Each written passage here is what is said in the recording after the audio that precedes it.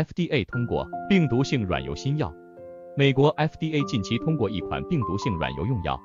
以局部皮肤外用方式使用，适用于成人与两岁以上儿童。对此，皮肤科医师指出，病毒性软疣以儿童患者为多，病灶处会出现中间有凹陷的疹子，若意外抓破，可能会造成其他部位或他人感染，因此有时会有皮肤表面多处出现病灶的情况。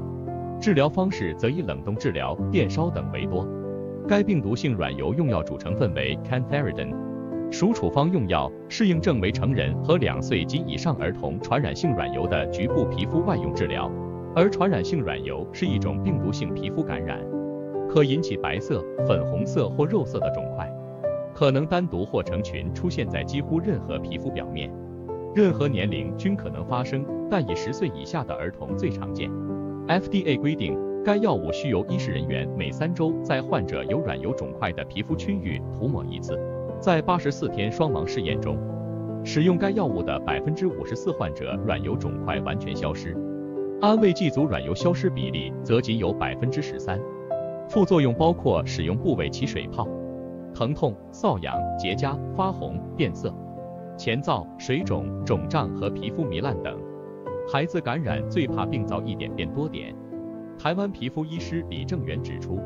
病毒性软疣发生后会形成一颗一颗中间有凹陷的疹子，其中的物质也具有传染力，性质上与一般常听见的病毒疣略有不同。病毒疣通常是乳突状病毒所造成，传染性软疣则是痘病毒感染。若孩童感染传染性软疣，李正元说，比较担心的是孩子忍不住触碰疹子。导致脸上多部位都出现病灶，或是互相传染给其他小朋友。外用药免除冷冻、电烧治疗疼痛。李正元指出，病毒性软疣的治疗通常以冷冻治疗或电烧为多，也有局部刺激免疫的药物手段，但难免伴随疼痛感。如果是成人患者，配合上相对比较没有问题，但孩子在冷冻治疗的过程中，常常会因为疼痛感而挣扎哭闹。一来治疗受到干扰，二来家长也会感到心疼。